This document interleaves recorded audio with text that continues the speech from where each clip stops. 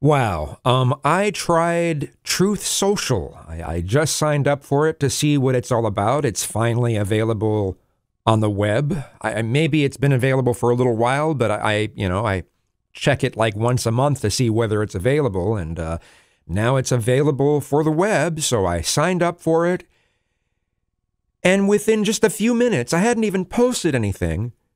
I get a whole bunch of follows from accounts that well, they it's bots. It's filled with bots. I've been on it for what about a half hour now and what do I have 20 followers now? It's like bots, bots anyone? Bots? And there was Trump posting that, "Oh, I'm not going to join Twitter. They're full of bots." Yeah, what about your own site, Trump? My god, I have never been on a site with that many bots. It's pathetic. You can check it out for yourself.